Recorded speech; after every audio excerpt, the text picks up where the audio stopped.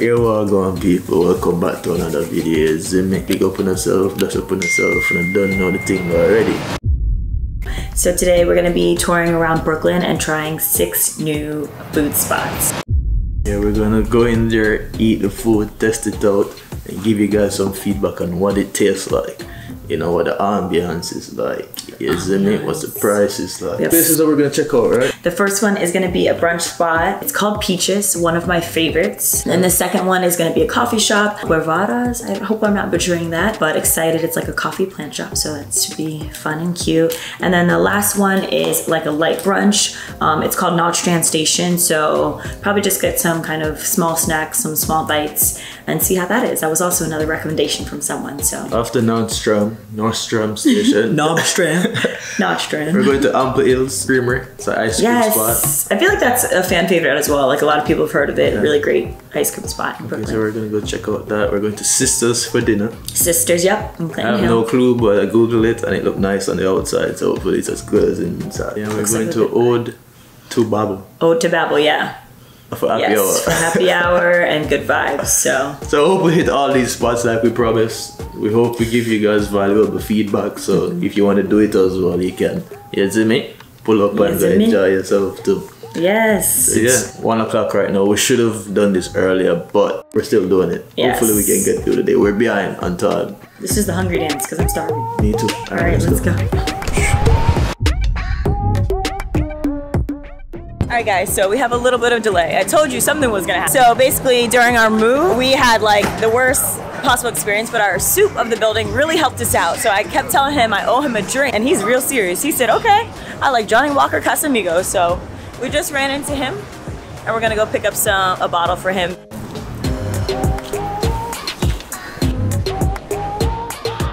All right, guys, so we just arrived at Peaches Hot House in Bed-Stuy. It's super good. It's really well known for its soul food, I would say, and just being a great brunch.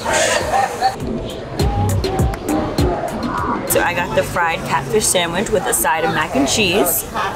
And what'd you get, babe? Best chicken sandwich you can get anywhere. The best chicken sandwich you can get anywhere.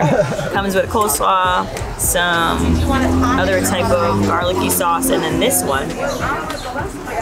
This sauce is really good. So the drink is a frozen watermelon tequila slushy. I don't know if that's the name, but it's really, really refreshing.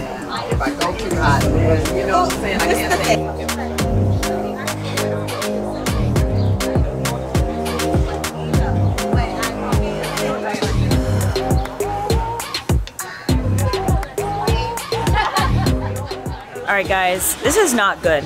I'm already full. and it's only the first place. But we're about to hop on to the city bikes and go to our next spot, which is a coffee shop. Stay tuned for our next spot. All right, guys, so we just got to Guervaras. I think that's how you pronounce it, but it's a super cute coffee and plant shop. Um, yeah, and so we just got some iced coffee. I got the mocha iced coffee, um, and JB got the blackberry lavender, which is like a favorite, and it's super good, very refreshing. Lighting up the stage, just have a mosh. Cinderella, baby, drop the ball with. Some of my dogs, yeah, the dogs with it. Alright guys, so it's 4 o'clock right now. We're just leaving Gubado, Gubana, No, baby, Guervaras. Guevara. I think, I think. I'm just Something like assuming that, isn't it? Yes. We had our coffee. This makes me feel like I want to shit, but Oh wow, TMI. we're enjoying it either way. Yes, it's also honestly turned out to be a great day because it's not raining, it's cool. Yeah. Yeah, not too hot. I'm not sweating because if anyone knows me, I'd be getting hot. I'd be sweating off all my makeup. So We're about to leave, head towards the Nord Nordstrom station. not not stand station. Nordstrom station. It's about 12 minutes ride on a bicycle. Hey, biker gang. So we're about to head over there now. Yeah, this shirt is from Gucci, feel me? This is a Louis V top, light work, you feel me? I got on the Versace shades and the Prada hat, feel me? And we out here living lavish. Isn't it? Yeah, check out the Balenciagas. Guys, I stole Jay's hat. Who wore it better? Ooh. Oh Lord. Uh-uh, I can't be seen. she right here. You do.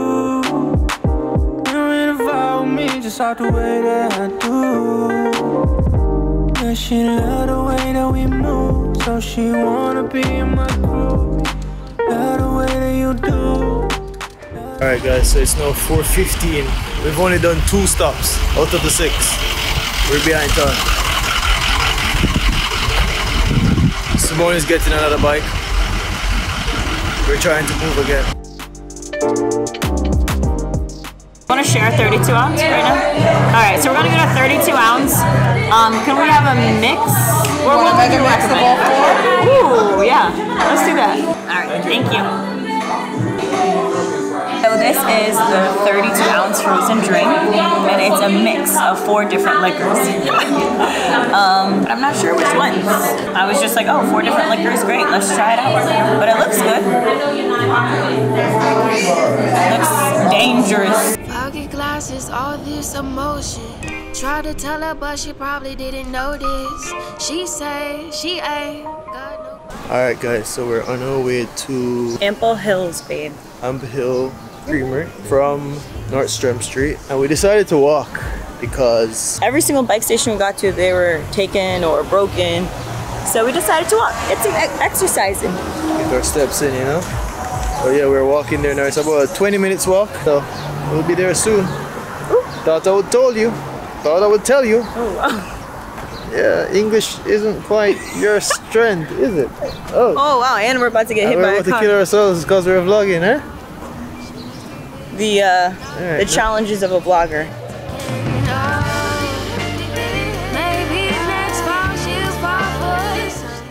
We've been eating all day. This is our fourth stop. We didn't realize that we'd be this full, so we went with the kiddie size, isn't it? This is the strawberry, and Simone got the. What you get? What I always get. The Simone get the cookie and cream thing. So right now I'm about to taste it. Mm. Yes. It's actually good. yeah, man, it's a vibe. On your shoulders. And I say, it gets better, girl. I swear I say, I'll take you. That was ice cream. It was good. The ice cream is top tier. I mean, this street is super cute. I feel like this is also like a cute family place. Like I would take my kids here to get ice cream. And it has a nice little outdoor area too. I mean, like a lot of different tables. They even have a little turf. But Good vibes. Yeah, definitely a cute little spot. Over, under, through none of that at all. She needs to be. So we are approaching Sisters. That's our next stop after Amplewood. Heard it's beautiful, heard it's cool, heard it's a cool ambiance, heard it's good food. So we're about to go check it out. Good food, good vibes. You know how it is. Lower your worries away,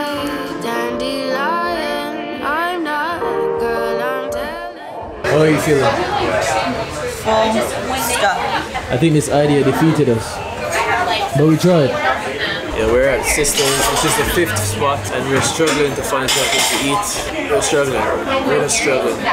We can't eat any more food, so I think I'm gonna get the starter, maybe some wing. But I can tell you right now, Sisters ambiance is probably the best so far. It's a vibe. Definitely unique. They spend time with designing the place to make it what it is. So.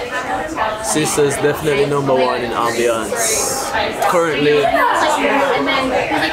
7.50, but it's almost 8 o'clock. We're still going.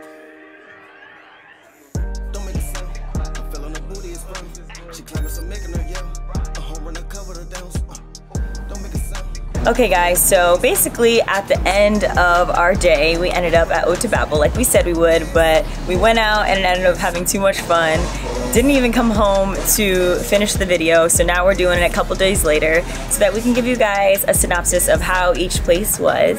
So first being Peaches, I thought that it was really great. It's one of my favorite brunch spots in Bed-Stuy. Um, in terms of price, it wasn't too pricey, kind of average, like $17 for a chicken sandwich. And yeah, the, the service was terrific. Service there is great. The waiters are lit, they will hook you up, they're so sweet, they're fast, so Peaches was a really great spot to get How about the taste of the food?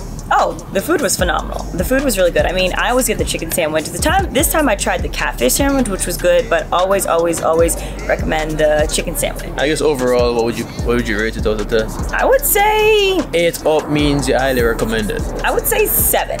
Because it's Also, a, you don't highly recommend it. I mean I would highly recommend it, but that's like phenomenal everything.